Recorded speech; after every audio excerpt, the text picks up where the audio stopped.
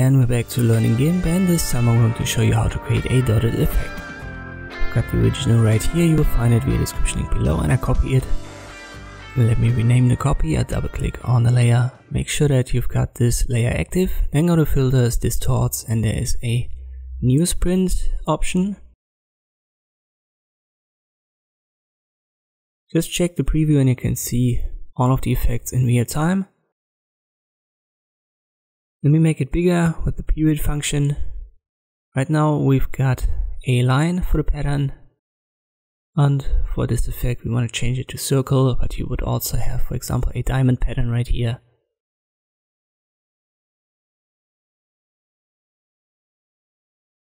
The angle below the period it sets the angle you could say of these stripes.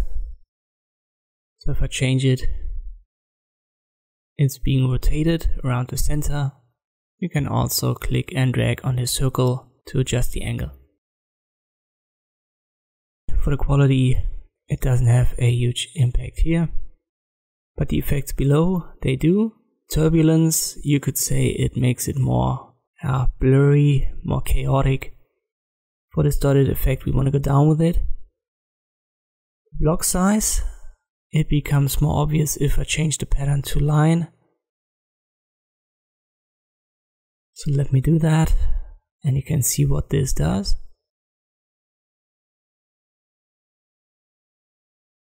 So all of these lines are basically arranged in blocks and you can make these blocks bigger or smaller. If you make them too small in relation to the period, you're going to have basically vanishing effect of the entire pattern. So you have to keep these two parameters in balance.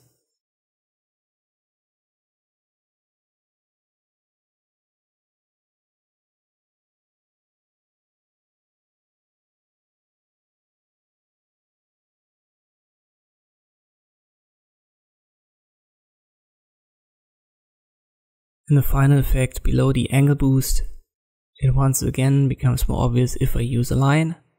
So let me switch that with the drop down once more. And you can see these little lines in the blocks. So you can rotate them as well with this function.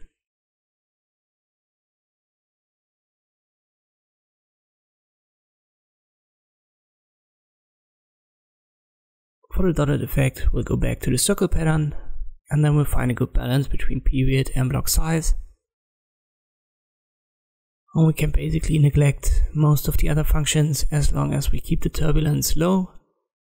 And once we've found something that we like, just click on OK and it's going to be applied to the layer. This was our original and this is the one with the dotted effect applied. And this is how you can create this dotted effect in GIMP. I hope this video was helpful, thank you for watching and I'll see you next time.